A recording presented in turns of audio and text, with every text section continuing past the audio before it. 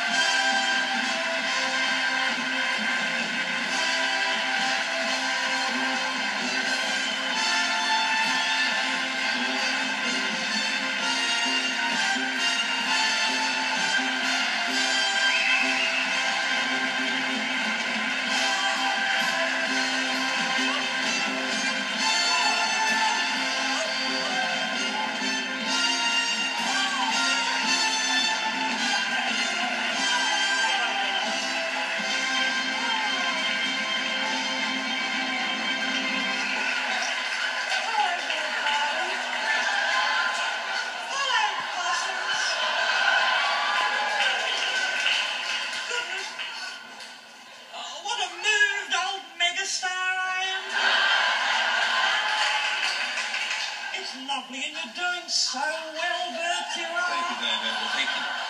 Where's that lanky sidekick of yours? He may be watching tonight, who knows? You're looking absolutely beautiful as always. Aren't I, darling? Of course, women will be copying this frock slavishly, won't they? I had a phone call from Mr. Hawke. He rang me up. We're very Reese thrilled with a new Gallup poll. 78% of Australians adore me, he said. He did. I said, darling, you only need another 22% to be neck and neck with me, possibly. Dame Edna, the last thing in the world I'd like to do is to upset you in any way. But I'm just wondering if tonight uh, a television set has been placed strategically in a hospital ward here in Melbourne for you to say hello to your beloved husband, who, of course, has not been seen publicly now for many, many years. Well, I'm afraid Norm is dead, darling. He's. He... Please, that's terribly tasteless. Oh,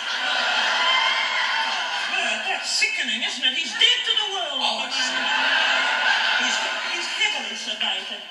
They wanted to bring him here, but I think his his technology would probably interfere, wouldn't it, with yours? But I must say that this show is being watched by my wonderful mother in a maximum security twilight home, isn't it? It is.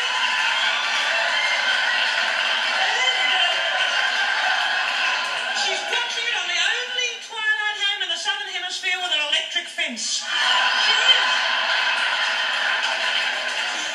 But I don't appear much on the here, do I? It's a pity, but I'm a bit overwhelming, aren't I, Bert? I, I don't think so at all. I'm a little bit overwhelming. Not for me. Uh, when I was born, my mother said to the doctor, What is it? He said, I'm afraid it's overwhelming. He but I can't help it. I'm a person. You know, I'm just a person. Success hasn't affected you, Dame Edna, at all. No, I don't think it has. I'm a very, very natural person underneath this. The only difference between me and these people is that I'm rich and talented and they're not. That's about all. But that doesn't apply to all of them. No. Because that's why we're here, isn't it? Of course it is. Of course it is. Do you mind if I if I put you to work, Dame Edna? No, I'm here to do a little job of work. I am. I love the sound of Australians patting themselves on the back.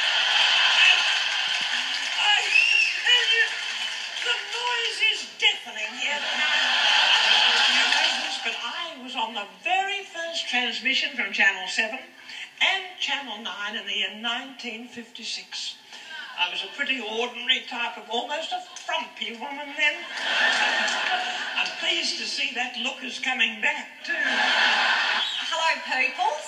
Um, my name's Kath Day, and this is my daughter Kim. Hi.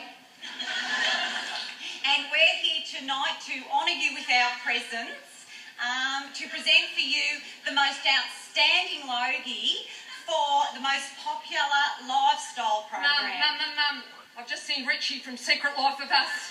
Richie, I'm a horn bag. I can turn you back.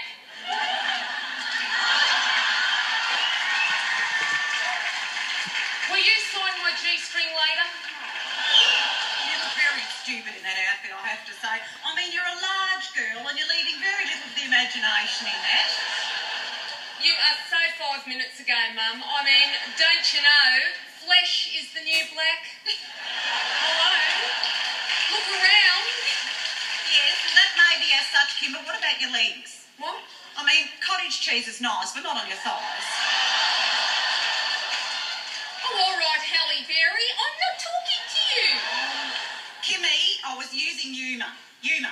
Now come on, look at me. Look at me. Look at me. Look at me. Actually, Jingies, look at the time. Oh my God, I've got to go and move the barina. I parked in a one hour over near the Polly Woodside because I couldn't, you know. I You wasn't- would pay it, wouldn't No, I you. wouldn't pay, not out of principle, but I better go. Lucky I'm wearing my flatties. So listen, if we get lost tonight, MOW, okay? Yeah, all right, all right, because I plan to stay. I'm going to get legless, literally, and crack on the J Bunyan. So I think, I don't know, we'll probably go to a nightclub or something, the Hairy Canary, I don't know. Right, just speaking of that, word of advice. Watch yourself getting in and out of cars tonight because the paparazzi are here. They'll get the camera right up there and your whatnot will be in who before you know it. Just standing on the bloody. Oh, sorry. Oh.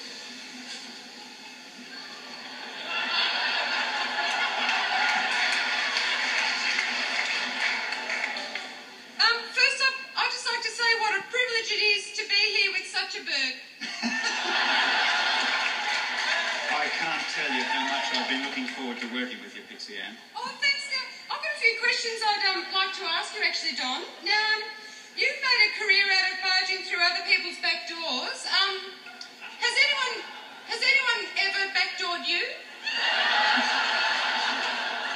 I have a vacancy for a gar- vacancy for a gardener if you're interested. Pixie Anne, ever since I first saw you on television, I've, I've wanted to come round to your place. Would, could we, if I brought the team, could we, The whole team. could we put your private...